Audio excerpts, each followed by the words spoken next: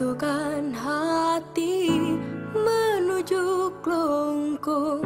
Masyarakat sejahtera Ini lagu semangat kita. Saling membantu, saling tersenyum.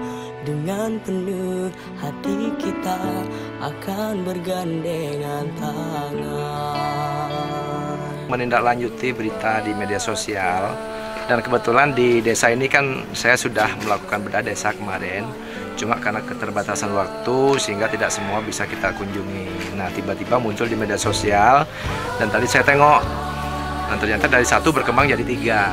Nah ibu tadi yang saya lihat pertama itu memang sangat memprihatinkan sekali dan tadi saya langsung BPD untuk minta CSR-nya mudah-mudahan bulan ini bisa ditangani uh, rumahnya listriknya termasuk airnya. Terkait dengan penuntasan daripada bedah rumah ini saya akan segera mengumpulkan kepala desa agar kepala desa nanti e, mengeluarkan semua data yang ada.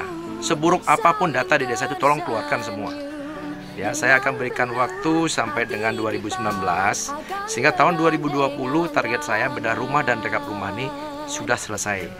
Nah oleh sebab itu sekali lagi tolong semua desa nanti ya harus membuka semua data-data warganya yang belum layak rumahnya dan nanti kalau sampai tahun 2019 dan 2020 masih ada yang ditemukan rumah-rumah yang tidak layak huni dan sengaja tidak dicatat dan tidak dilaporkan maka sanksi saya akan berikan kepada desa tersebut.